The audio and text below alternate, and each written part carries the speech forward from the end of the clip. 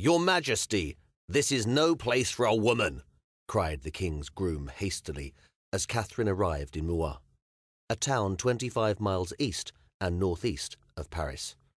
I am daughter of King Charles VI and Queen Isabeau of Bavaria. I, not you, am perfectly safe in France, declared the Queen matter of factly. Dressed down, the groom lowered his eyes. Yes, Your Majesty. You will take me to my husband, commanded the Queen. Bowing, the groom took the reins of Catherine's horse and led her close to Henry's royal pavilion, helping the Queen down off her horse. Catherine nodded and handed him a shilling before entering. As Catherine's eyes adjusted to the low light, she found Henry bent over a map and battle plans. Henry looked up with surprise. Catherine? Yes. What brings you here? I thought you were staying in London. I had a dream. The Blessed Mother came to me and warned me you would not survive this siege. Henry stopped what he was doing and rushed to her, embracing her warmly and kissing her tenderly. I am fine, Catherine. I could not be better now that you are here. Look, the siege is at an end. I can march on Paris any day now.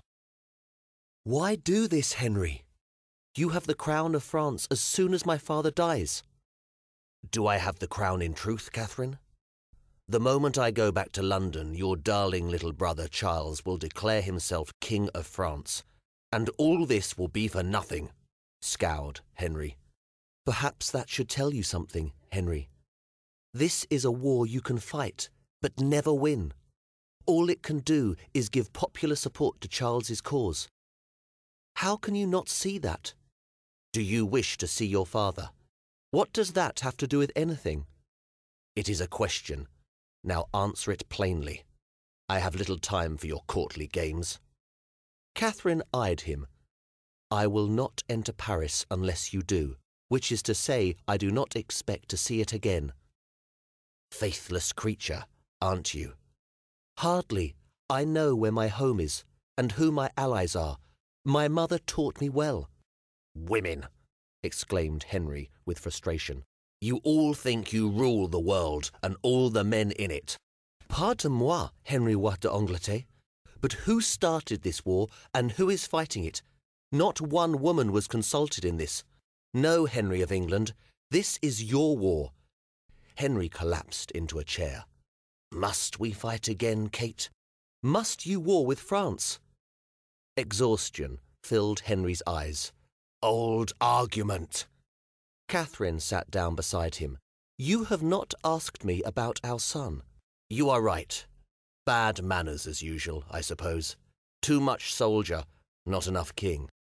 Good King Richard II, to whom I believe one of your sisters was once wedded and whose crown my father took from him. Now that was a king with proper manners. He knew how to keep a court, though of course not his throne, observed Henry. Catherine, unlike you, I was not born to this. I was not born royal. Granted, I embrace it more than any born to it has, but can you not understand me in this? I have spent most of my life at war, fighting someone or another. First on behalf of my father, and now all of this.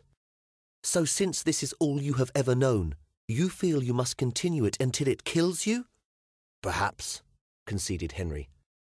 Then you doom Henry to grow up without his father, maybe to never even meet him. I would like to hold him, Catherine. He is waiting in London for you. All you have to do is leave all of this. Let the Treaty of Troyes stand. No more bloodshed. Just then, Henry grimaced. What is it? It's nothing. I know you better than that, Henry. What is it?